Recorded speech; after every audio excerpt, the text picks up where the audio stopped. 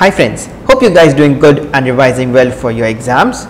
So this video is all about your surgery special where we have picked around 10 important topics which are your favorite of AIIMS examiners. So what we'll be doing is that we'll be discussing the specific points of those topics rather than having a detailed discussion, right?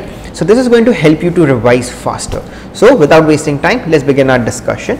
So the first question that I have is regarding your OS MRS score. So what is your OS MRS score? This stands for your obesity, surgery, mortality, risk score. Now the questions that are framed from here is that which of the following is or are not the component of your OS MRS score. So to answer that we would be needing to know the components. So the components includes first age which is more than 45 years. Then we have BMI. What is BMI? Body mass index, right? More than 50 kg per meter square. Then we have gender. Now here it is your male gender. Then we have hypertension and the last component is DVT that is your deep venous thrombosis or any risk factor for your pulmonary embolism. So these are your few components of your OS MRS score.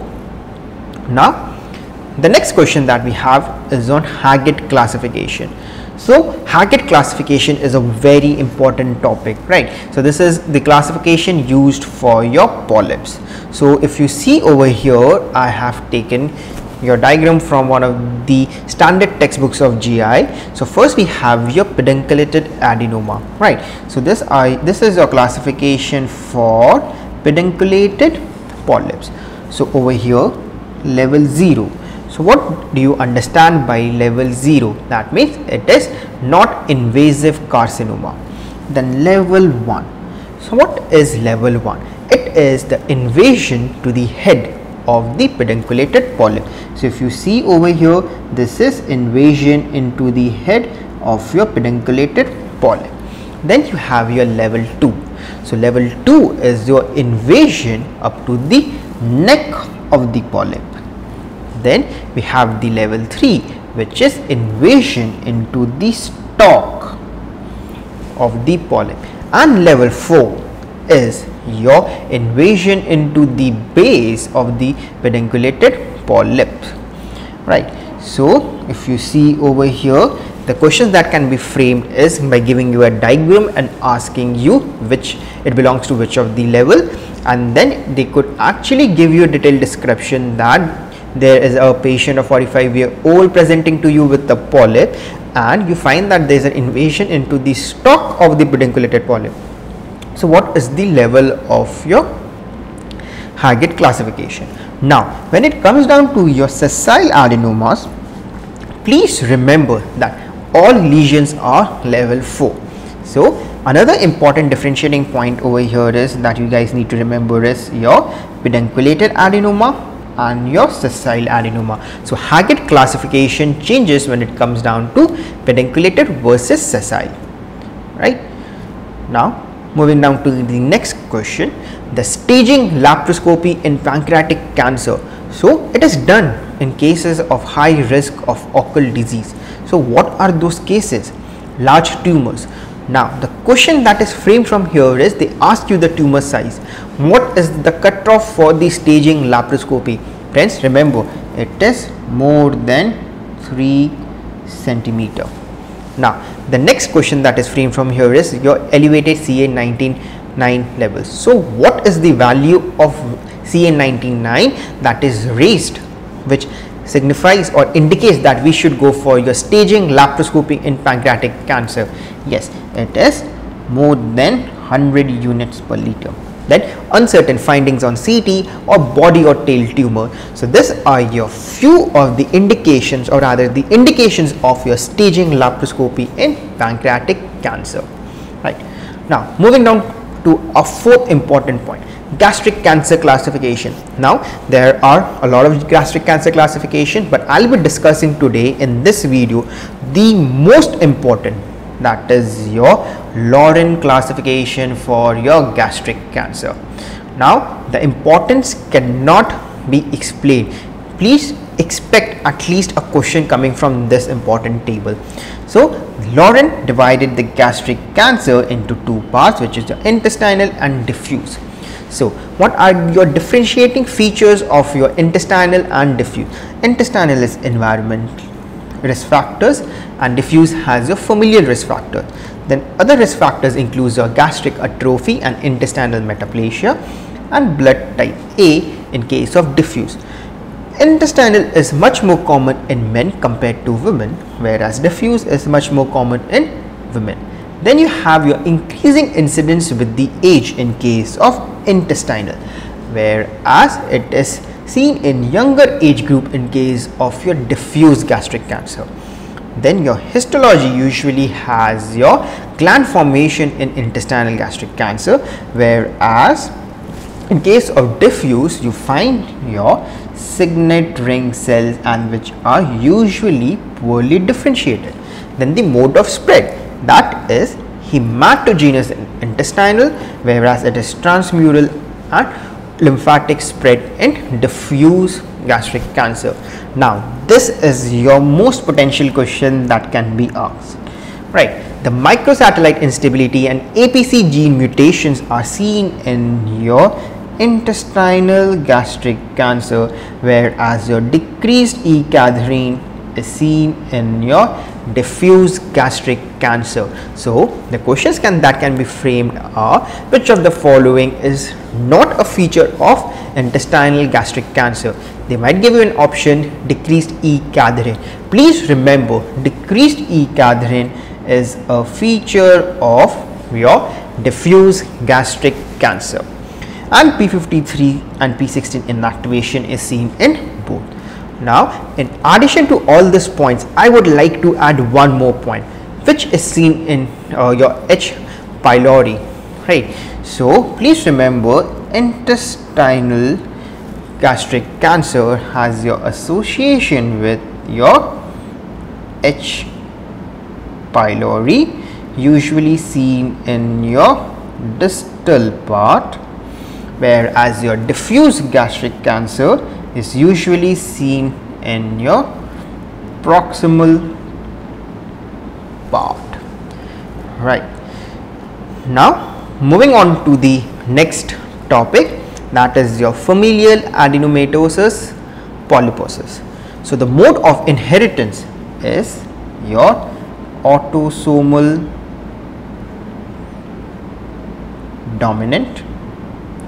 The gene involved is your Gene.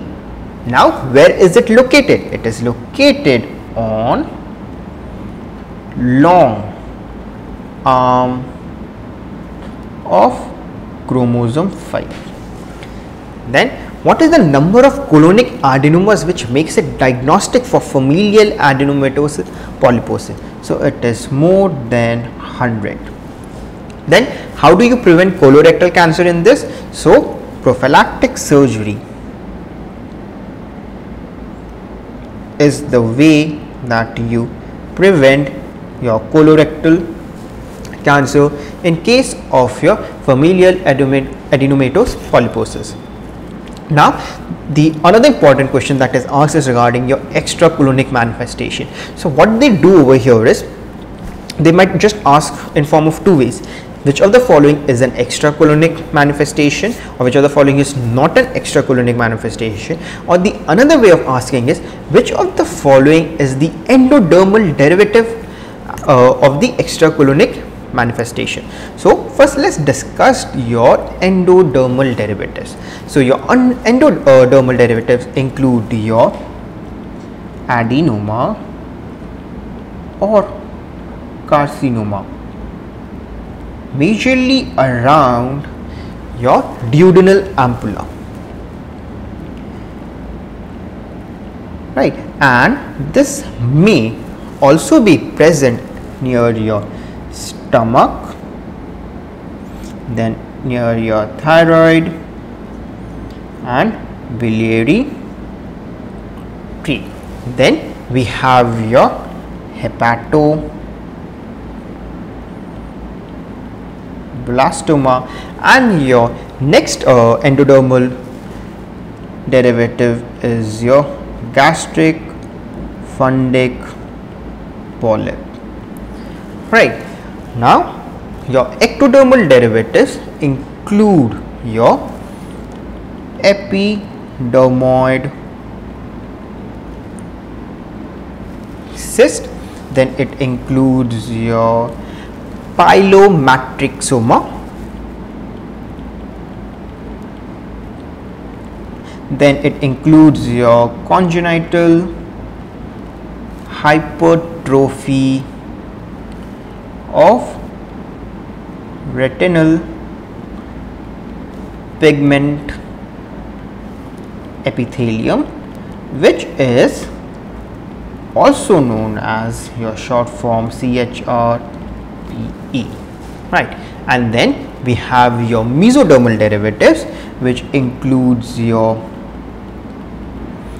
desmoid tumors. Then you have your osteomas and you have your dental problems. Right. So these are your extracolonic manifestation of your familial adenomatosis polyposis. Now the next uh, topic that we are going to discuss is the solitary rectal ulcer syndrome. Right so where is it present? The location anterior wall of rectum or the posterior wall of the rectum? So that gives you one of the most important questions. So it is situated in your anterior wall of the rectum usually 6 to 8 centimeter from the anal verge. We confirm the diagnosis by your histology and you have your treatment options. Treatment option is your STARR procedure. So, what is your STARR procedure? Now, this is your trans, this is your, your transanal staple resection of intussusception right. And your another treatment that can be done is your resuspension of the rectum. Right. How do we do that? By your abdominal rectopexy. So they will usually give you in the option the STARR procedure. So the important points for your SRUS is anterior wall 6 to 8 centimeter from anal verge confirmed by histology and STARR is one of your treatment options of your solitary rectal ulcer syndrome. Right. Now the next important topic is your congenital adrenal hyperplasia. So, the mode of inheritance is your autosomal recessive. The pathognomic features in children is your adrenal insufficiency right and virilization. Now, the important question asked from this topic is the most frequent defect that we see is your 21 hydroxylase deficiency. Right. Now, moving down to the next question is your venous drainage of adrenal. Now, it is a very simple question, but yet it can be confusing. So, on the right side, it is draining into your inferior vena cava. Now, on the left side, it is draining into your left renal vein. Now, what is the importance of discussing this question? number one you might get a direct one right now. but now in case of adrenal disorders there is a concept of your adrenal vein sampling so they might give you a concept based question over here that you want to do an adrenal vein sampling of your left side so how would you proceed for it please remember it is via your left renal vein in case of your left adrenal vein. Now in case of your right side it would be via your inferior vena cava that you would be able to reach your right sided adrenal vein. Right so this is a small topic but yet it can be used on the basis of your concepts of your surgical anatomy linking to your diagnostic methods of your adrenal vein sampling. Now medullary thyroid carcinoma. So these are your tumors of your parafollicular cells derived from neural crest. Now diarrhea is seen in around 30 percent of cases. Now this is due to